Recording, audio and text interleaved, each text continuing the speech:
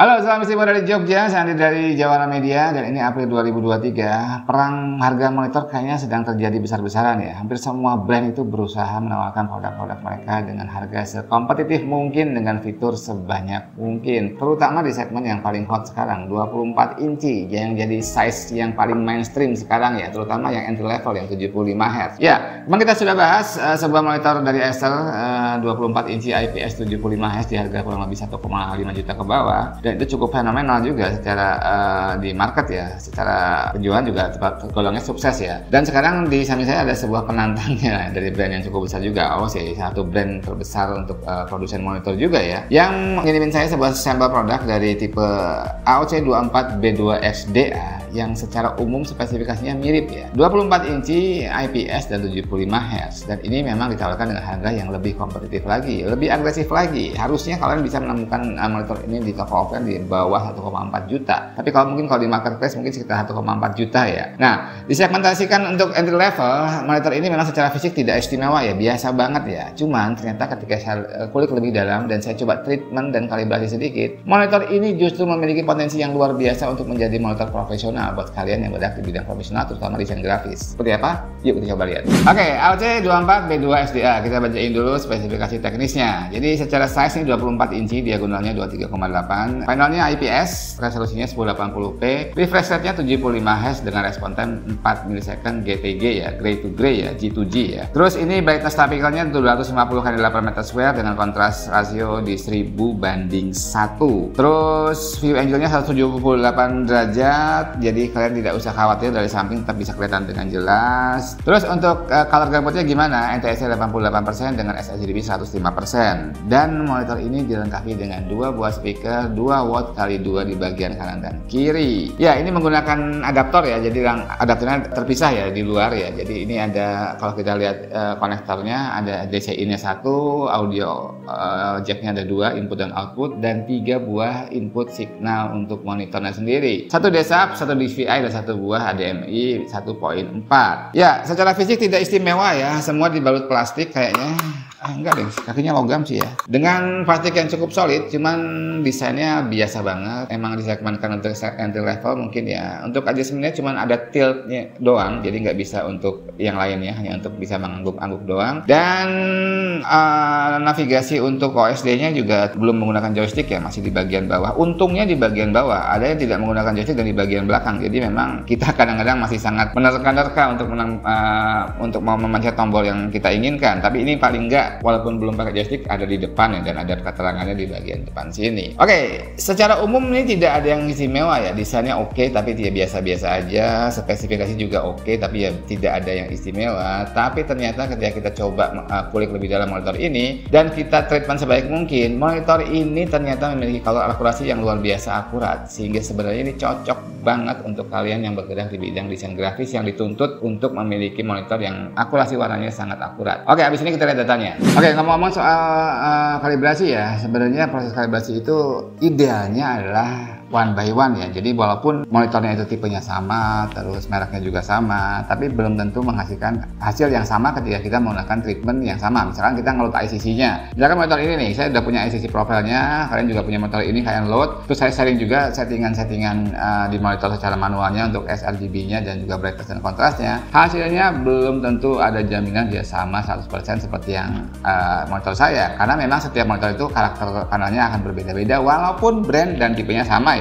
Jadi uh, tetap akan saya sharing nanti hasil profilnya, cuman ini tidak akan jaminan bahwa kalian akan bisa mendapatkan hasil yang sama dengan saya walaupun monitor kalian sama. Terus idealnya gimana? Idealnya tetap kalian harus bawa monitor kalian dikalibrasi manual menggunakan alat yang benar dan dikalibrasi dengan pro, seorang profesional. Itu ya poinnya ya, disclaimer aja ya untuk masalah akurasi warna dan kalibrasi monitor. Dan seperti biasa untuk measurement dan kalibrasi kita dibantu oleh LCD Monitor Jogja, tempat kalibrasi monitor dan toko monitor yang paling lengkap di Jogja. Kalian kalau butuh monitor atau ingin kalibrasi monitor kalian, notebook kalian bisa langsung googling aja LCD Monitor Jogja. Oke, jadi kita coba tes out of the box ya monitor ini ya dengan Spider X dan kita lihat hasilnya seperti ini. Secara umum yang cukup mengejutkan adalah average delta E-nya ya. Jadi secara umum out of the box average delta E-nya sudah di angka 1,9. Jadi sudah terbilang cukup akurat ya. Kalau kita lihat detailkan ke bawah, memang ada satu uh, bar yang masih merah ya. Ini adalah warna biru yang masih cukup tinggi ya, akurasinya. Cuman lainnya sudah hijau semua. Jadi jarang-jarang ada sebuah monitor out of the box delta E-nya sudah di bawah 2. Tapi memang kalau kita lihat delta white point-nya masih cukup tinggi ya, yang ke 4,6 ya. Dan kalau kita lihat ada data-data lainnya seperti black luminance sudah cukup oke okay, di bawah 0,5 0,3 something kandela per meter square dan secara umum monitor ini sudah cukup akurat di warna cuman di white pointnya masih sedikit meleset. Habis ini kita akan coba treatment kita akan coba kalibrasi dengan Spider X dan kita akan lihat hasilnya seperti apa. Ya setelah kita uh, kalibrasi dengan Spider X kita load, kita load file ICC nya dan kita setting monitor secara manual ternyata hasilnya sangat luar biasa loh ya. Ya bisa sangat akurat Ayo kita lihat datanya. Untuk detail white point-nya dari 4, something itu bisa ditekan sampai 0,22 ya. Jadi kalau kita lihat itu sudah hampir mendekati sekali di 6500 Kelvin. Terus untuk average delta-nya jadi berapa? Dari 1,9 jadi 0,28 dan kalau kita lihat detail warna-warnanya itu hampir semua sudah mepet banget ke titik idealnya. Bahkan kalau kita lihat dotnya di sini itu banyak banget yang sudah masuk di lingkaran uh, apa namanya referensi titiknya ya. Jadi memang ini sudah sangat-sangat akurat. Belum lagi kalau kita lihat black luminance-nya itu sudah di angka 0,17, udah black banget ya, sudah sangat black banget dan sudah sangat akurat banget baik warna putih, warna hitam dan uh, average warna-warna lainnya sudah sangat akurat. Sehingga monitor saya uh, menurut saya monitor ini sangat cocok buat kalian yang ingin um, yang dituntut pekerjaan kalian mungkin menuntut uh, monitor dengan akurasi warna yang sangat tinggi. Ini salah satu yang bisa uh, menjawab solusi itu dengan harga yang sangat-sangat terjangkau. Saya juga sempat heran, saya dan teman saya dari LCD Monitor juga sempat heran kenapa monitor semurah ini ternyata panelnya cukup oke, okay. bisa di treatment sampai sedetail itu, sampai seakurat itu. Gak banyak monitor yang bisa mendekati angka-angka tersebut ya, bahkan monitor-monitor dengan level harga yang lebih tinggi. Oke, okay, dari hasil itu kita akan coba ambil beberapa kesimpulan. Oke, okay, kita sampai pada akhir video. Jadi kita akan buat beberapa kesimpulan ya tentang produk ini ya, AOC 24B2 XDA.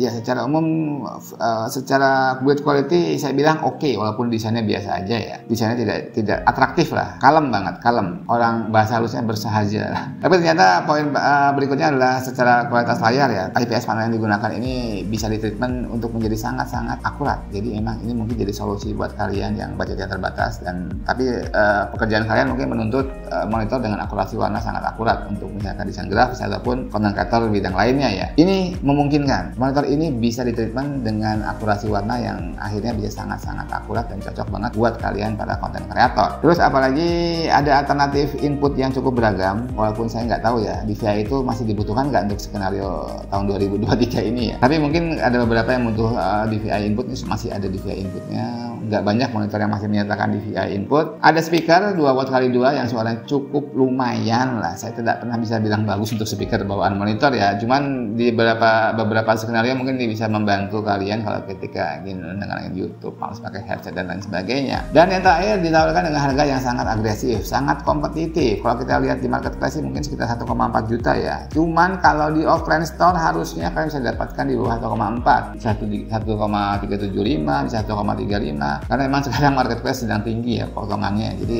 harganya pasti lebih tinggi. Oke itu. Terus apa yang saya nggak suka dari monitor ini? Satu-satunya poin yang saya nggak suka kalau desain sih relatif ya adalah navigasinya ya. Navigasinya belum pakai joystick. Dan ini saya sudah bilang berapa kali-kali saya agak bingung kalau navigasinya nggak pakai joystick. Tapi paling nggak walaupun tidak pakai joystick ini masih ada di bagian bawah dan ada keterangannya di bagian atas.